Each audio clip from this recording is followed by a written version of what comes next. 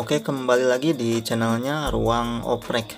Di video kali ini saya akan memberikan penjelasan ataupun e, memberikan cara penggunaan tentang timer switch.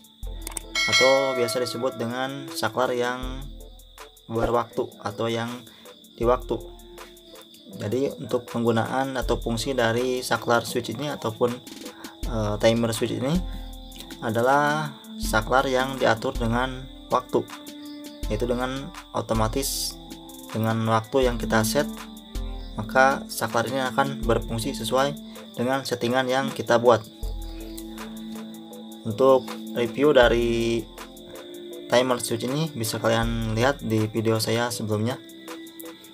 Oke namun di sini saya akan mencoba memberikan tutorial atau cara penggunaan dari timer switch ini Oke, di timer switch itu ada dua rupa ya, atau ada dua jenis.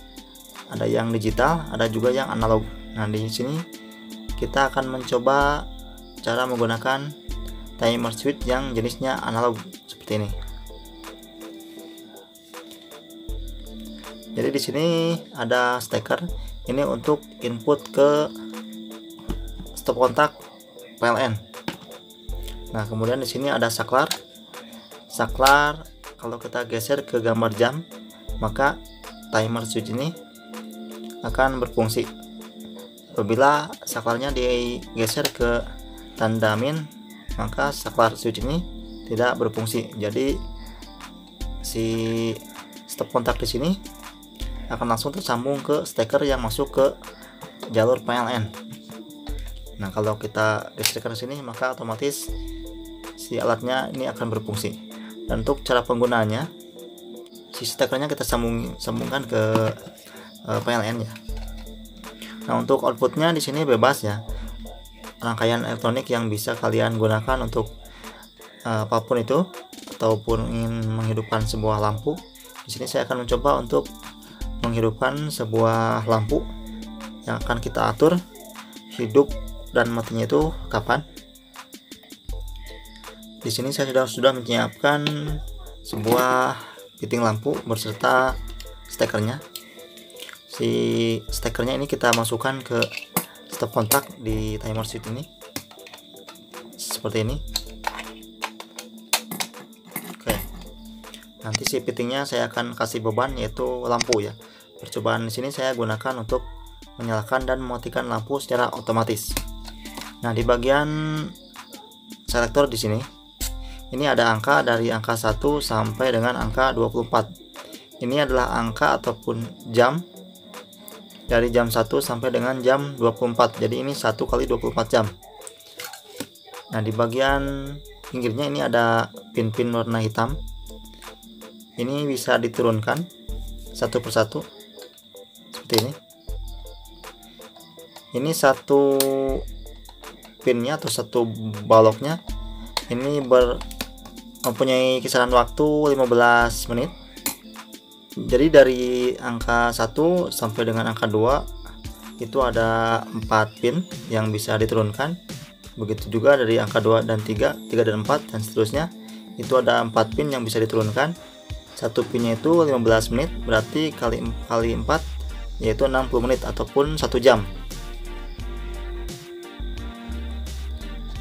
Jadi angka 1 sampai 2 itu jaraknya 1 jam kalau kita turunkan ke 4 pinnya.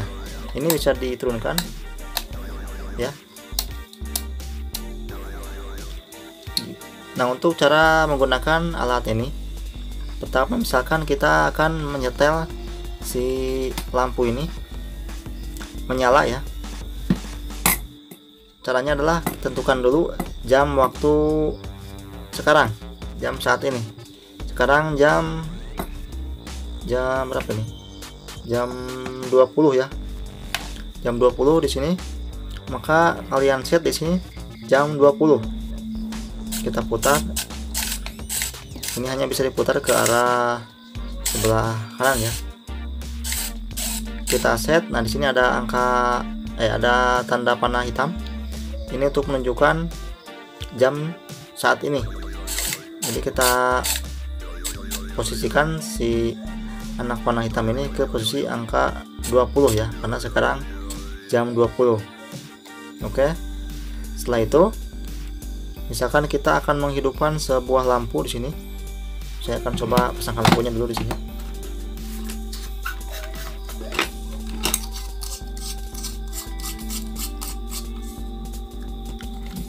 Oke misalkan saya akan menghidupkan lampu ini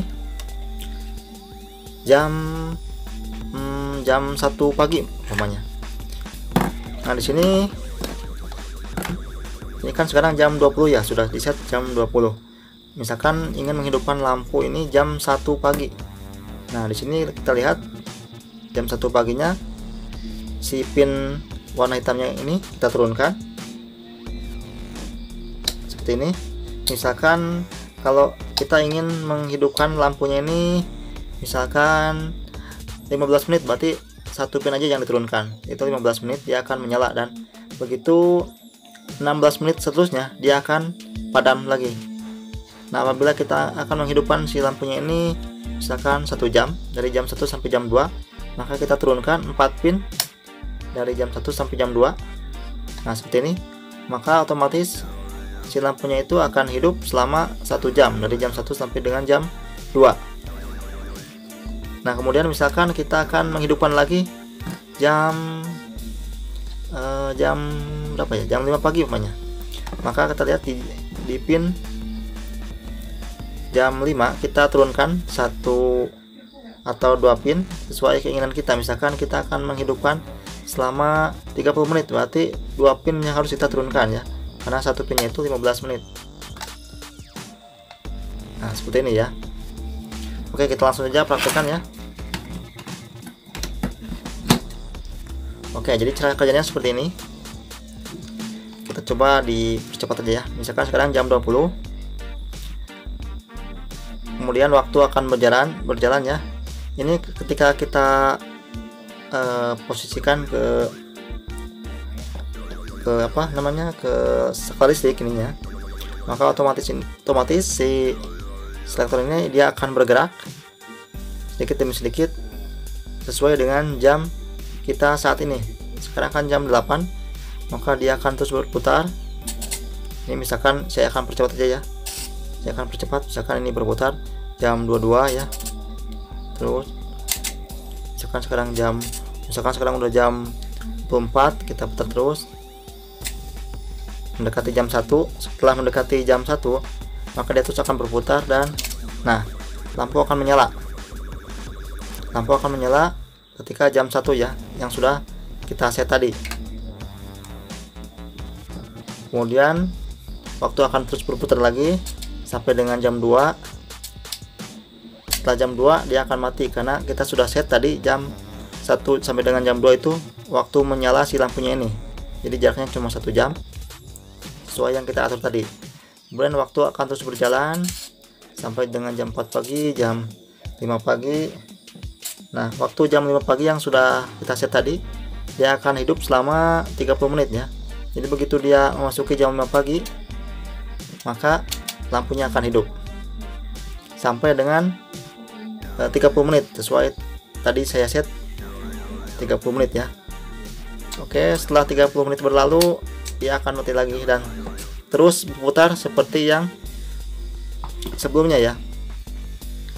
Oke jadi cara kerjanya seperti itu kelemahan dari timer switch jenis analog ini adalah dia tidak akan berfungsi ketika mati listrik. Jadi kalau kita sudah di set misalkan jam 11 eh jam 1 misalkan jam 1 terus tiba-tiba jam 23 mati listrik maka secara otomatis si timer switch ini dia akan berhenti di jam 23 nah apabila jam 2 misalkan listriknya hidup maka timer switch ini akan berjalan tetap dari jam 23 sampai dengan seterusnya. Jadi dia tidak akan memulai sama dengan waktu listriknya itu hidup kembali yaitu jam 2 ya. Jadi dia tetap, tetap akan mengulang dari uh, jam waktu dia mati listrik. Jadi seperti itu. Oke mudah-mudahan bisa dipahami ya jadi timer switch ini bisa kalian gunakan untuk keperluan ataupun untuk hmm, menghidupkan suatu alat elektronika tidak juga hanya lampu ya bisa juga alat lain lainnya. Oke mungkin itu saja video dari saya semoga bisa membantu. Terima kasih telah menonton video ini jangan lupa like, comment, share dan juga subscribe channel ini. Terima kasih telah menonton